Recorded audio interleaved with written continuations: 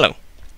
So what we're going to do today is we're going to look at how to make an NPC automatically talk to you when you enter a certain place, a certain trigger that we're going to draw.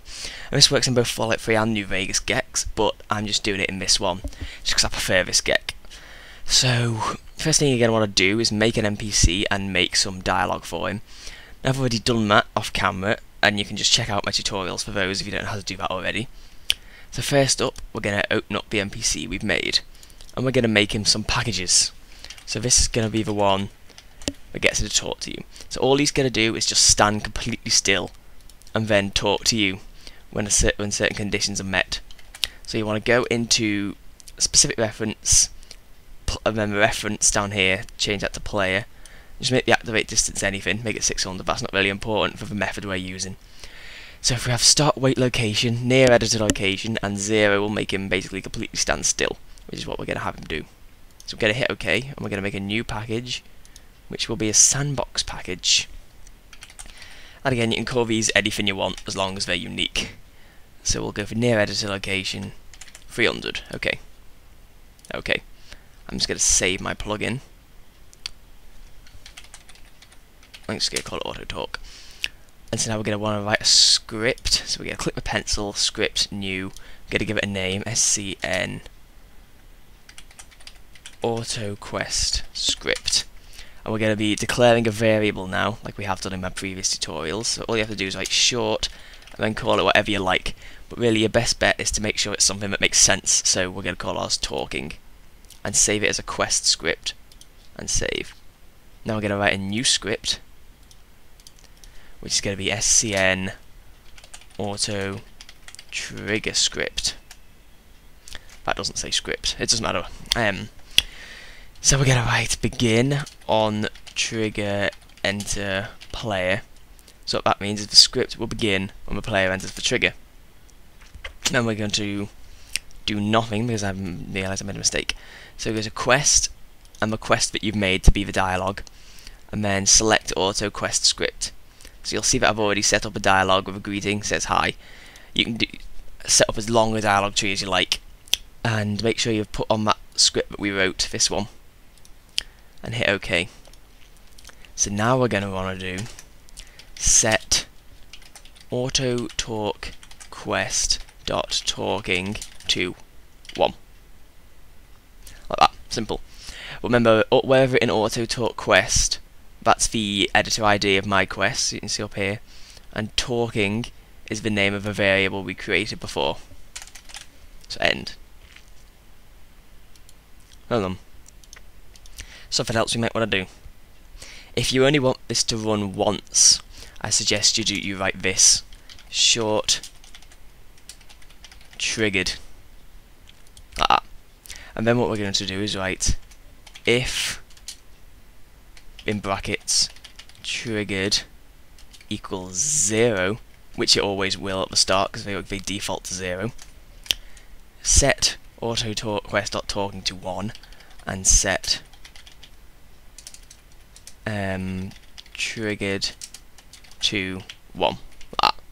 So what that will do is, when you enter it, the first time you enter, it will, you want to type end if first, well, first time you enter, it will set auto talk to 1, and then it'll set triggered to 1, so it won't ever run again, so you'll only enter, it'll only happen when you enter the first time.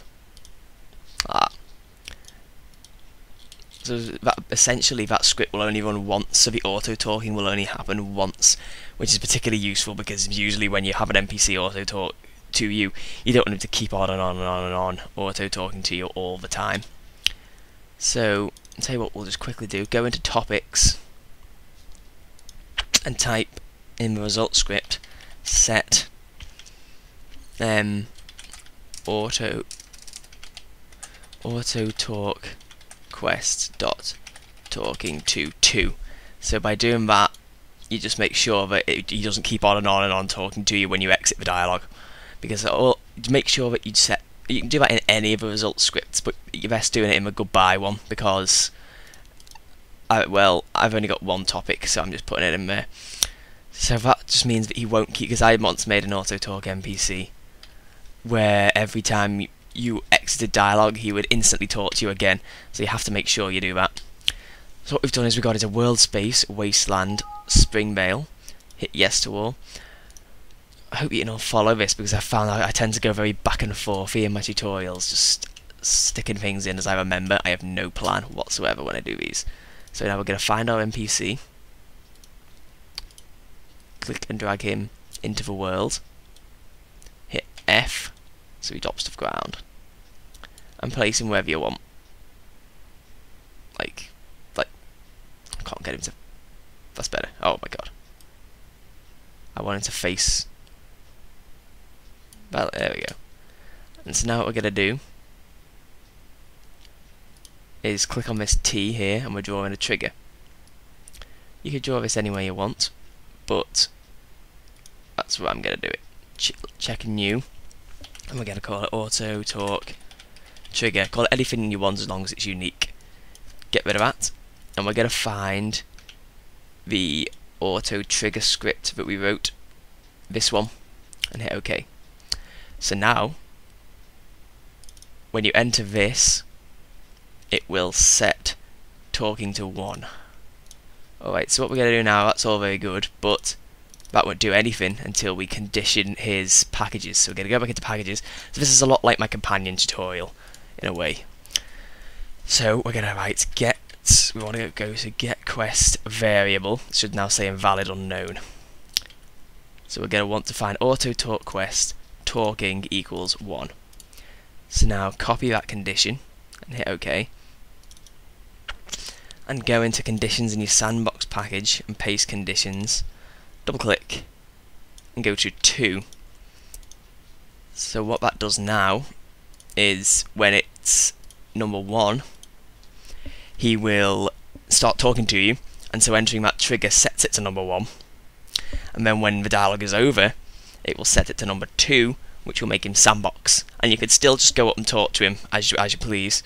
So your best bet is to, you know, set up a a dialogue, a long, nice long dialogue. I mean, you can do whatever you want with it, really. But once you understand, you know, uh, variables and conditioning and everything, you can pretty much do anything with it all. So I think that's about it.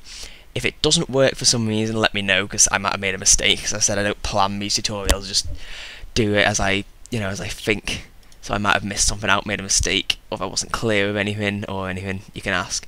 And you can, if you want, if there's anything you want help with, send me a request, and I will, I will help if I know how to do it. And that's pretty much it for this tutorial. So thank you for watching. If you enjoyed it, please consider subscribing for more in the future. Um, thank you,